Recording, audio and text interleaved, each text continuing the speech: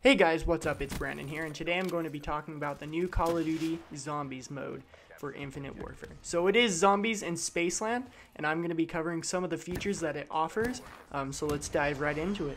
So this is Treyarch's take on the very popular Zombies mode.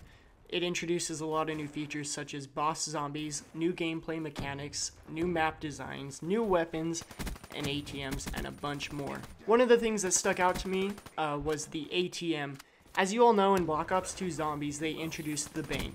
That made it kind of overpowered for people who spent one game just getting a bunch of money, and then the next game, they could come out and buy all the doors, pack a punch, buy all the weapons that they wanted, spend it all on the box, and basically overpower themselves in the early rounds. I think Infinity Ward did this one right.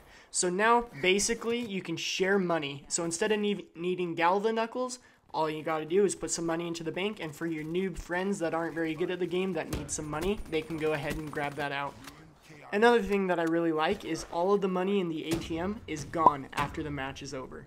So not the rounds but the match so your overall game once that ends all the money disappears from the atm and then you have to start fresh like you would normally in any regular zombies game another reason why i like the atm is because like I said earlier, it does not make players overpowered because you cannot just pull out a bunch of money early rounds and buy everything that you guys needed to work for initially. But that's just one of the many new features that Treyarch is introducing into zombies. If you want me to cover some more, go ahead and leave a thumbs up. And if you really want to see anything else, go ahead and leave a comment down in the comments section. Um, if you really liked it, guys, go ahead and subscribe. But this has been Brandon, guys, and I'm out.